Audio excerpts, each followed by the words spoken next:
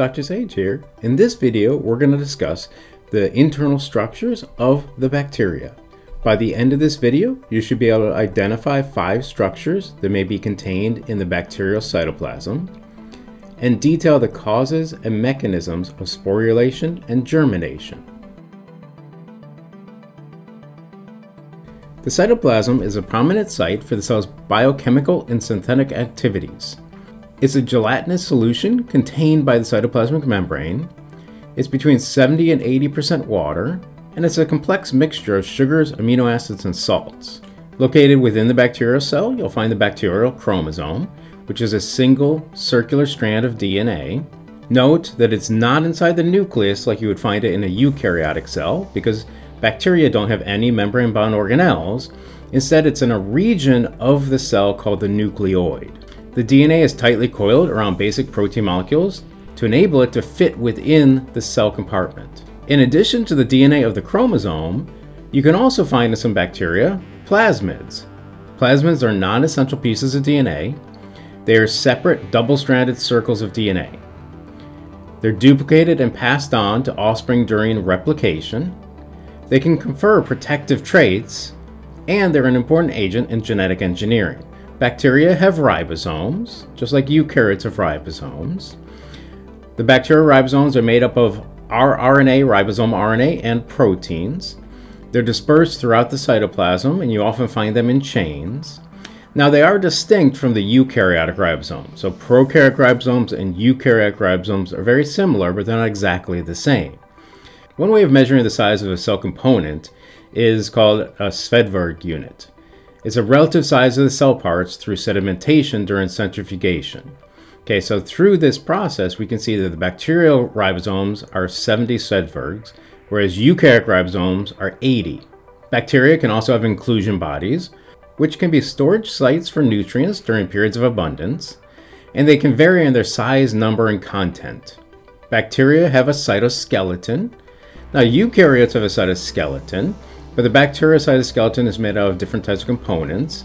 The bacterial cytoskeleton is long polymers of proteins which are similar to the actin proteins in eukaryotic cells. They can be arranged in helical ribbons around the cell, just under the cytoplasmic membrane. They can contribute to the cell's shape, and they're a potential target for antibiotic development, since the bacteria have these particular proteins and eukaryotic cells do not.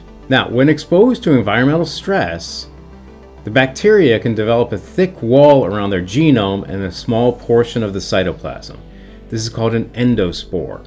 This allows them to survive extreme conditions.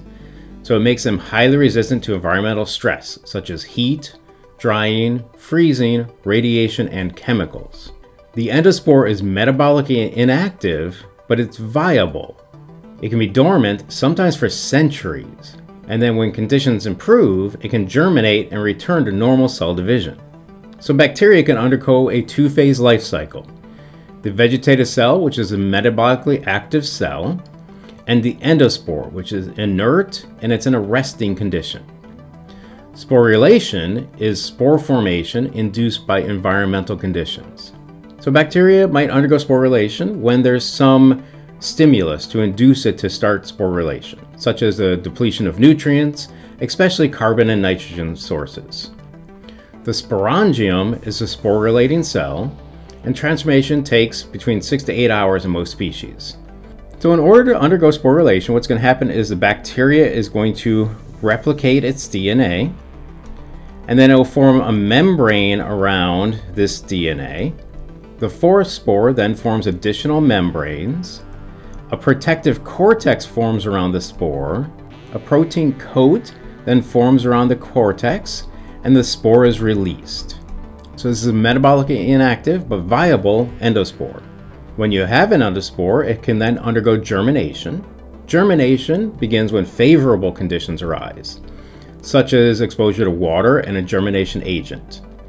The germination agent stimulates the formation of hydrolytic enzymes that break down the cortex of the endospore. The core rehydrates and takes up nutrients, and the bacterium grows out of the endospore coats. Once initiated, germination proceeds to completion in about one and a half hours. Now, there are some human diseases that are related to spore persistence. For example, anthrax, tetanus or lockjaw, gangrene, and botulism. Endospores are consistent intruders where sterility and cleanliness are important. They're resistant to ordinary cleaning methods, so boiling water, soaps, and disinfectants might not get rid of endospores. They frequently contaminate cultures and media, and hospitals must protect against endospores and wounds. Destruction of endospores are important in the food canning industry. So, that was your brief introduction to the internal structures of bacteria. Until next time, this has been Dr. Sage.